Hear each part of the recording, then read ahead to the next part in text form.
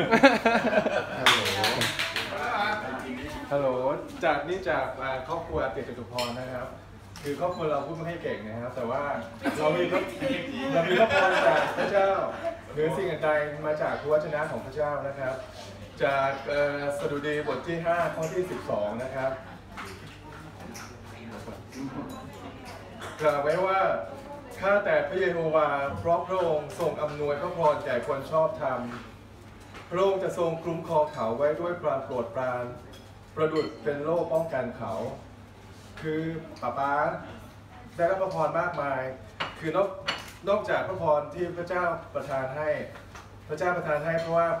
ป้าป๊าเป็นผู้ชอบทานในสายพระเนตรของพระองค์แล้วก็เราได้เห็นพระพรจากทุกคนที่มาในในที่แห่งนี้ แล้วก็ญาติญาติพี่น้องหลายคนที่ไม่มา เราหวังว่าทุกคนได้รับพระพรเช่นเดียวกับป้าป๊าด้วย และหวังว่าทุกคนจะมีความสุข แล้วก็ให้ป้าป๊ามีสุขภาพแข็งแรงตลอดไป ขอบคุณครับพระเจ้า